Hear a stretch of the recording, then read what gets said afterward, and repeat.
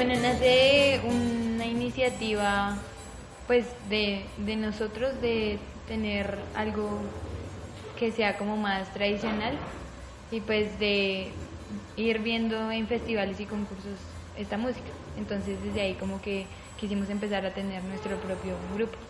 Los chicos y, y- y las chicas que participaban del proyecto eh, tuvimos la oportunidad de ver un grupo en Chocontá y la respuesta de ellos inmediato fue, profe, ¿cuándo empezamos a hacer carranga? Ellas estaban en esa estudiantina y desde ahí empezaron a hacer como la inquietud.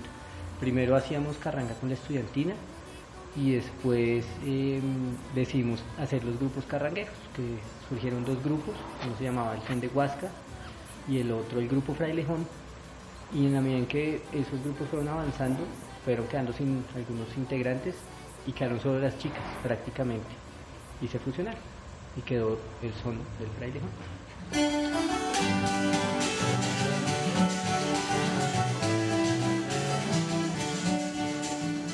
Eh, nosotros como agrupación le cantamos a la vida en el campo, a la tradición, al cuidado del medio ambiente, a la familia, a todas las cosas que son importantes y que a veces no creemos que, que realmente sean así, sino simplemente pasamos a eh, esas cosas como desapercibidas y nosotras lo que queremos es rescatar esas cosas importantes que, que nos hacen crecer como personas. Y yo pienso que también representa como un grupo de cuatro chicas que les gusta la tradición y les gusta, no les da pena decir que vienen de un pueblo, no les da pena decir que les gusta el campo, que les gusta la chicha, que les gusta ir a caminar por el páramo. Y básicamente es eso, es, un grupo de, chicas que les gusta simplemente la música y la tradición campesina.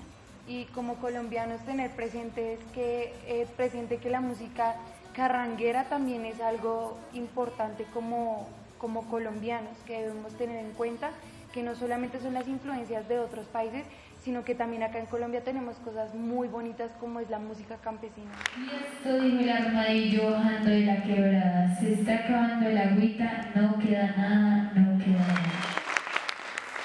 para nosotras guardianas, que como el nombre lo dice, guardan alguna cosa importante que pertenece a la tradición, la chicha, el agua, la importancia que tiene el agua, em, los polinizadores, el papel que tienen en el mundo, no solamente en Huasca, sino en el mundo.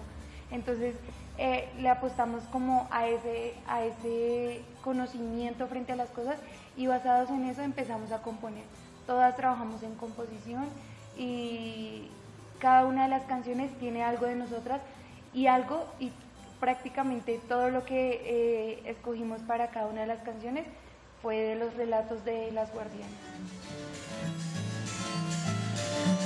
Nuestra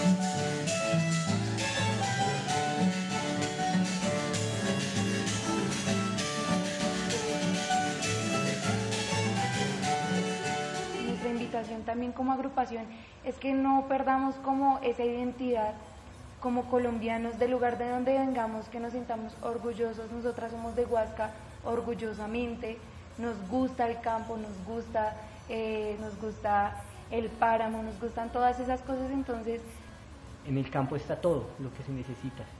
Es una visión más de que se deberían mejorar las condiciones del campo para que la gente pueda vivir con dignidad allá y no que la gente empiece a huir del campo, porque el campo es muy bonito. Y eso es una cosa que es muy importante y no deje- que no dejen el campo. Ahí tenemos una canción que precisamente termina así, invitando a la gente a que no se vaya del campo, que ellos son campesinos y se tienen que sentir orgullosos de eso, y lo que hay que hacer es sacar el campo adelante y, eso lo, lo tenemos que hacer los jóvenes, pues yo no estoy tan joven, pero, pero, pero sí es muy importante.